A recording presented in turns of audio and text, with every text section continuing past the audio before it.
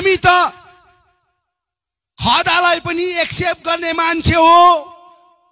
मान्छेले मन पराएन भने हामीलाई जुत्ताको माला लाउँछ त्यो पनि एक्सेप्ट गर्ने मान्छे हो। तर जातिलाई गद्दार गर्ने मान्छे चाहिँ होइन। समाजलाई गद्दार गर्ने मान्छे चाहिँ होइन।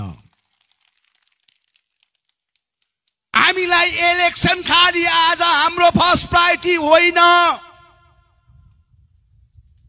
हामीलाई समाधान चाहिन्छ समाधान। हे सरकार तिम्रोबाट समाधान चाहिन्छ। भारत सरकारबाट समाधान चाहिन्छ।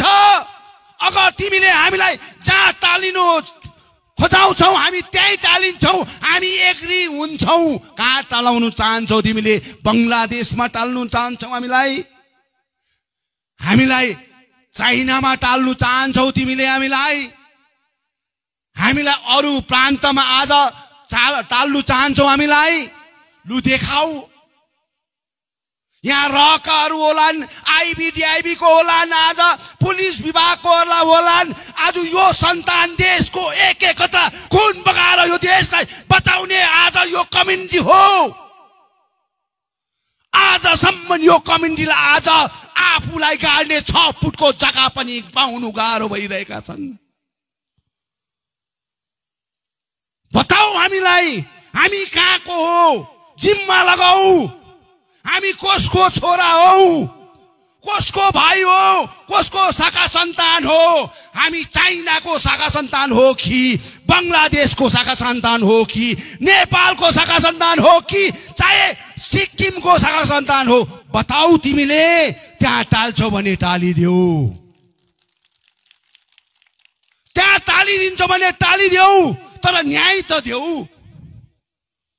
न्याय त देऊ कति गुलामी भएर बस्नु हामी। कति गुलामी भएर बस्नु चौकीदार भएर आज बस्दा बस्दा यो देशलाई स्वतन्त्र बनाएर आज यत्रो वर्ष बितेर जाँदाखेरि आज हामीले आफ्नो परिचय पाउन सकेका छैनौँ। हामीले परिचय मागेका हौ। हामीले कन्ट्री मागेका होइनौ देश मागेका होइनौ हाम्रो परिचय देऊ न हे देश। हे भारत सरकार हाम्रो परिचय देऊ। बङ्गाललाई म भन्न चाहदिनँ बङ्गालले यो इस्यु यो विषय आज सरकारको सेन्ट्रल गभर्मेन्टको इस्यु हो भनेर भनेका छन्। हामी सोध्छौँ भारत सरकारलाई सोध्छौँ। भारत सरकारले आज हामीलाई कहाँ टाल्नु खोज्छ कहाँ राख्नु खोज्छ? जवाब दिएको हुनपर्छ। भारत सरकारले जवाब दिएको हुनपर्छ। यो स्थिति परिस्थिति आज तिमीले क्रिएट गर्दैछौ। ढाँट्नसम्म छल्नसम्म तिमीले आज छलेर ढाँटेर राजनीति गर्दैछौ। कम से कम यो कम्युनिटी देशको एक एक कतरा खुन बगाएर देशमा बसेर आज यो देशलाई बचाउने कम्युनिटी हो। कमसे कम न्याय त देऊ। यो चिजलाई त पहिले न्याय दिएको हुनुपर्छ। यहाँ होला रहेको मान्छे आज आइबी डिआइबीको सेन्ट्रल आइबी स्टेट आइबीको पनि होला। म रिक्वेस्ट गर्न चाहन्छु मेरो मेसेज पठाइदिनुहोस्।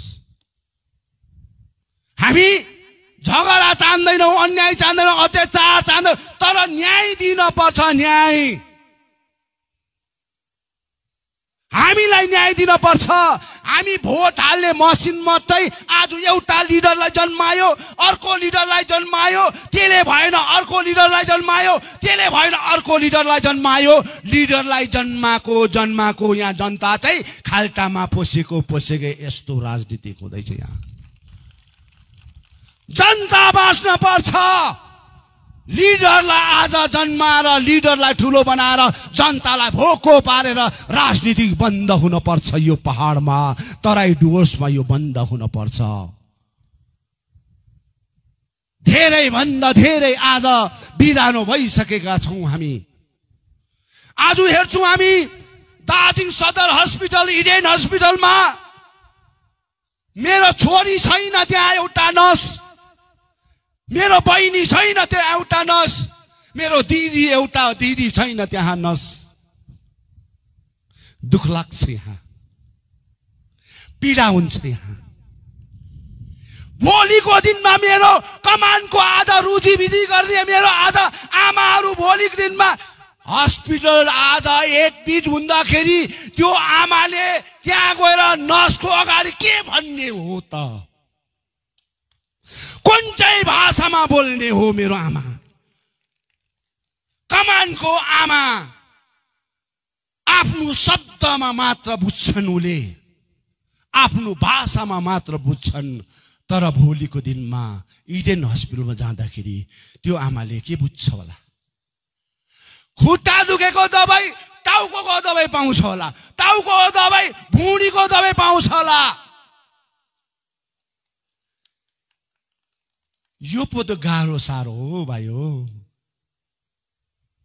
हामीलाई झगडा गर्नु छैन नि। दबाई ठिक समयमा देऊ न जहाँ दुखेको छ जहाँ पेन भएको छ ठिकसँग देऊ न त्यसको काम लागोस्। हामीलाई केही झगडा गर्नु छैन। त्यसले गर्दा मैले अघिका दिनमा भने हे सरकार तिमीले हामीलाई न्याय दिन पर्छ। हामीलाई न्याय नदिकन तिमीले जबरजस्ती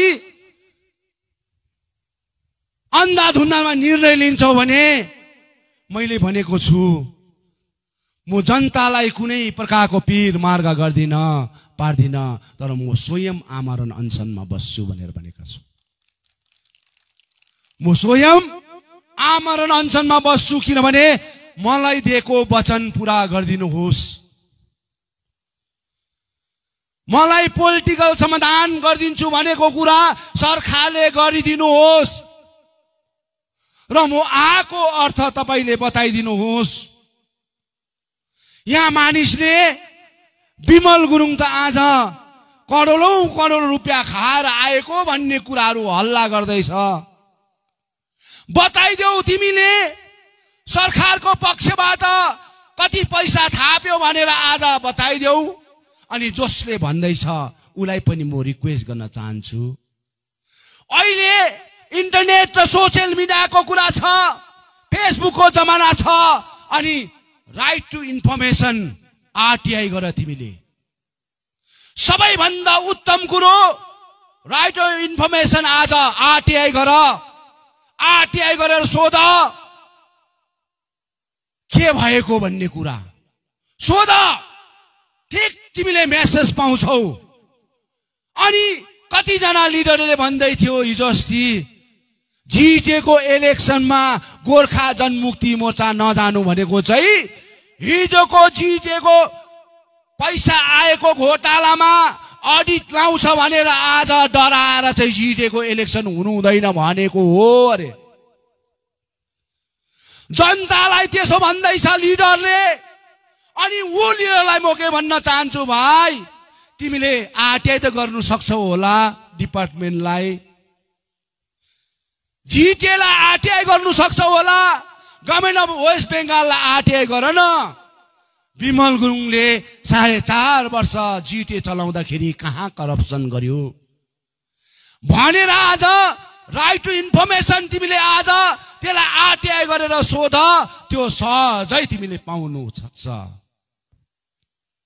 अगर मैले त्यहाँ घोटाला गरेको भए मैले आज करप्सन गरेको भए म माथि दुईटा आज अडिट लगायो। दुईटा एउटा स्पेसल अडिट पनि लगायो।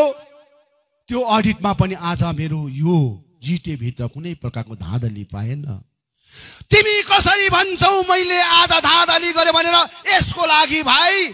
आरटिआई गरेर सोध। तिमीले पाइहाल्छौ। मान्छेलाई लटाएर ढाँटेर राजनीति कतै पनि नगर। हामी त खदालाई पनि एक्सेप्ट गर्ने मान्छे हो। मान्छेले मन पराएन भने हामीलाई जुत्ताको माला लाउँछौँ त्यो पनि एक्सेप्ट गर्ने मान्छे हो। तर जातिलाई गद्दार गर्ने मान्छे चाहिँ होइन समाजलाई गद्दार गर्ने मान्छे चाहिँ होइन।